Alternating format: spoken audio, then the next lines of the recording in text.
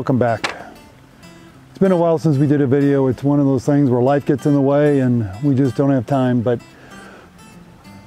we're building the Gavilan Hills Vineyard here at Paradise Ranch. Please subscribe below, join us, and we'd love to have you join our adventure. This is what we have been planning for the last year, working on for the last six months.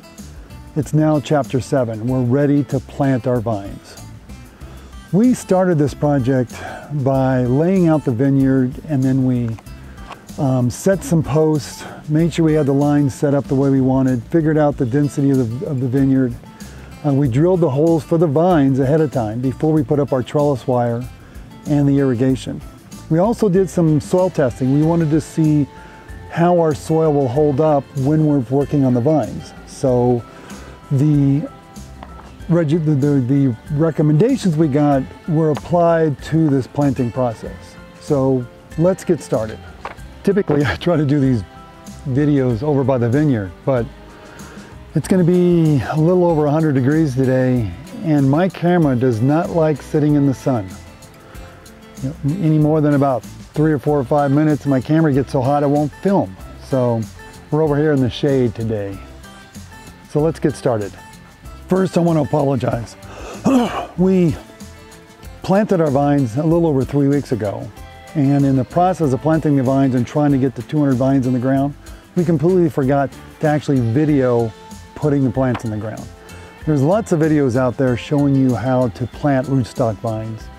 I put a link to a couple below, um, specifically from the company that we purchased our vines from, have a nice little rootstock video on how to plant rootstock. So you can go ahead and take a look at those. So let's get started. And obviously, we can't just plant the vines. There's a lot of steps we've got to take ahead of time to get these plants prepared and preparation to plant the vines. So let me go through those right now. First, let's talk about gopher deterrent. How are we going to keep those god dang gophers away from our vines and not to kill our new vines? I mean, I would hate to come out three years into this, vine dead because a gopher got to it. Gophers primarily live 6 to 12 inches below ground. The surface roots are. What I want is I need to get these young vines growing and get some feeder roots really developed down below where the gophers are. So I need to keep the gophers away from my surface roots. To do that? So what am I to keep these gophers away from my roots? Broken glass, crushed glass, literally broken glass in the holes. So when the gophers get close to the vines, they have a little deterrent to keep them away from my vines. I actually use this glass mixture on everything I plant. Flowers, roses, trees, and the vines. I use the same glass mixture to keep the gophers away from my new vines and my new plants. Over the past year, I've been collecting primarily wine and beer bottles. I place the bottles into a heavy-duty trash can and using my large sledgehammer, I broke the bottles up into small pieces. Once the glass was broken up into these small pieces, I then put the glass into five gallon buckets. Now I was not sure if I was going to have enough glass for the 200 vines in my vineyard. So I purchased some additional glass online called Coarse Premium Glass Abrasive. This was a great purchase. It really that additional deterrent that I was looking for to keep these gophers away from my vines. So I got two bags of 100 pound coarse glass online. And then I, in combination with the glass that I had broken up, I put them into these buckets.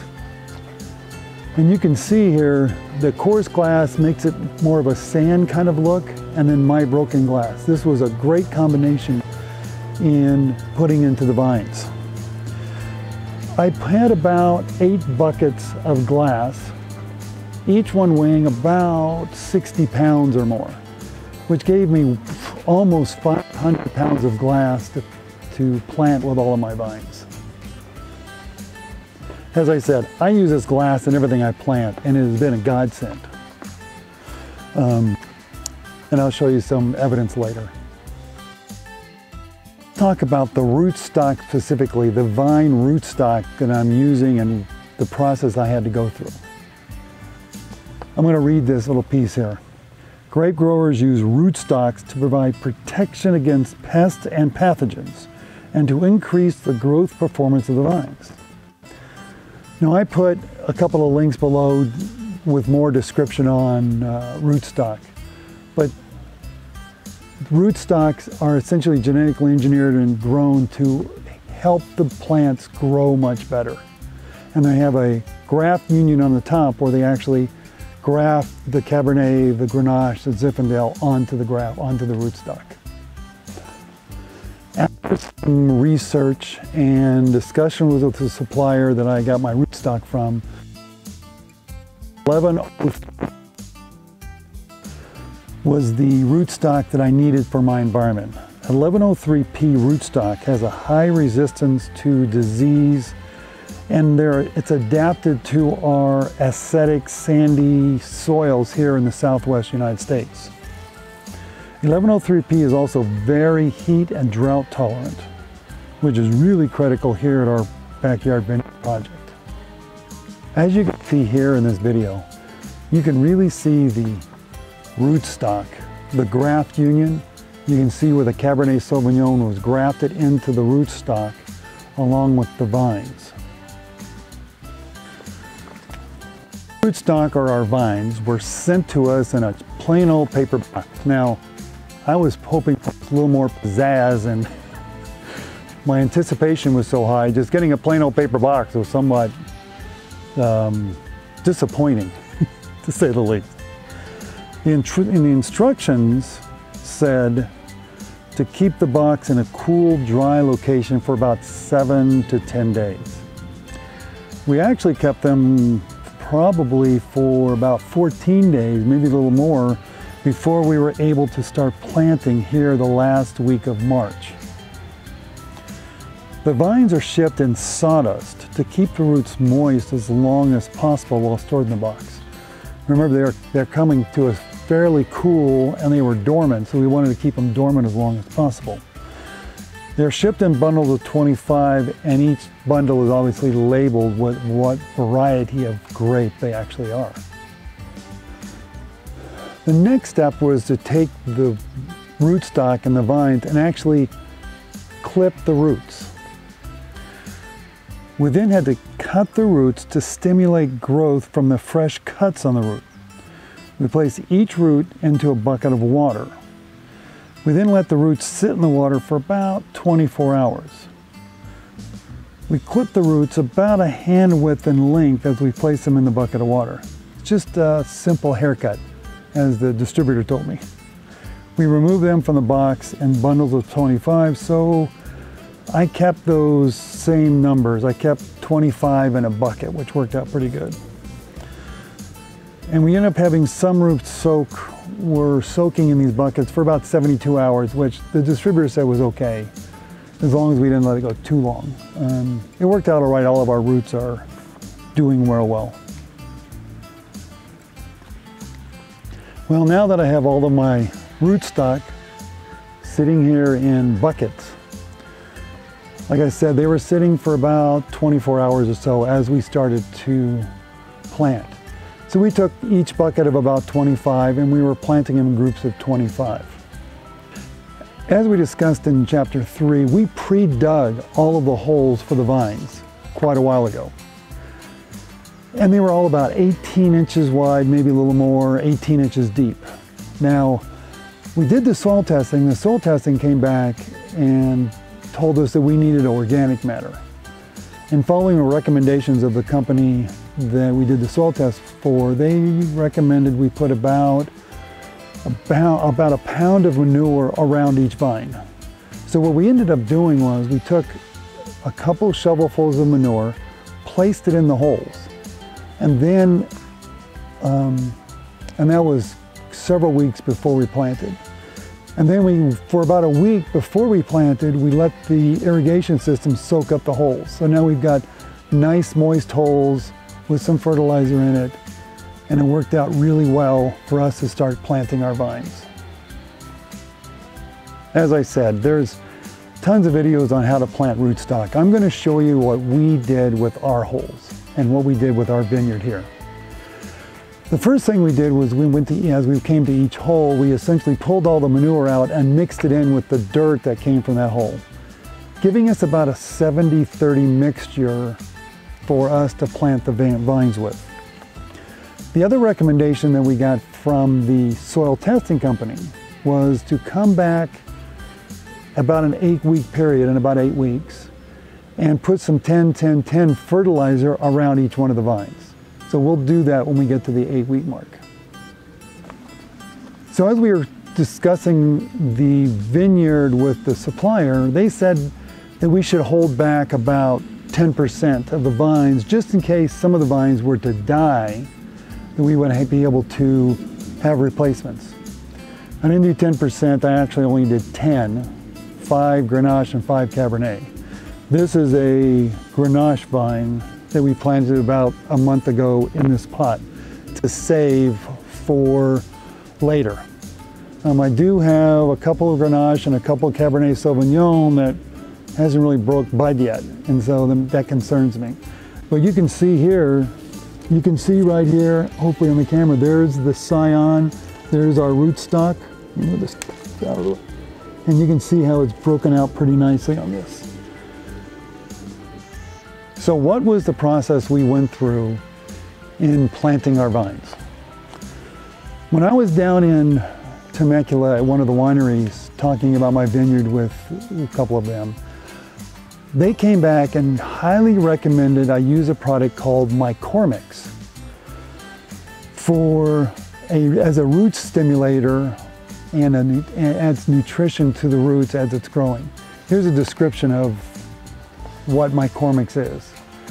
So what we did was the first step in this whole process, after we dug out the hole, was to put in about a tablespoon. We took a handful of my Mycormix and dropped it in the hole. That was first step in the process. Number two, we then took some of our nice crushed up glass and spread some glass across the bottom of the hole. Then our next step obviously was to put in some dirt. So we put some dirt in the hole we have with our glass and Mycormix, and then we added in our vine. We wanted to make sure that the graft union was about a hand's width above ground, and we wanted the vines to be going downward. And I, I kind of will explain that in a second. Once we got that in, we added some more glass, we added some more dirt, um, and at, also at that point we added in my watering tube, which I talked about in a previous video. This watering tube will get water directly to the roots and has worked out phenomenally well for our process. So now I've got the Mycormix, I've got glass, some dirt, we put the watering tube in, I've got my vine in, and I just keep adding dirt and glass, dirt and glass. And at one point I actually pull up on the vine. I actually grabbed the vine like this and pulled up on the vine because I wanted the roots to go down. You want the roots to be pointed downward so you get optimal growth as deep as possible on the vines. And we kept going through this process all the way up until we had a finished product. I now have a grapevine in the ground, protected from gophers, and with all the nutrients it needs to get going. Manure, Mycormix, some good soil, nice wide deep holes. So we got everything ready to go and we got some, some vines ready to go and start planting. We then added in the vine sleeves, are bamboo stakes to hold the sleeves in place and give the vines some support as they grow. We have an issue here with rabbits, so those sleeves are used also to keep the damn little rabbits away from my new plants and keep them safe while they mature. We also put the drip hose into the watering tube for the irrigation at this point. So here in here in section one, you can see our vineyard all planted and ready to go. The sleeves are in place. The bamboo stakes are in place. We've placed irrigation tubes into the watering tubes. And we are covering the area with mulch a little later, but it looks pretty good at this point. As I said, we did the planting about a little over three weeks ago. And I want to show you a picture here. This is a picture of one of the vines about a week after we planted it. it. I pulled the sleeve off to take a look to see what the growth was and this is what it was about a week into it.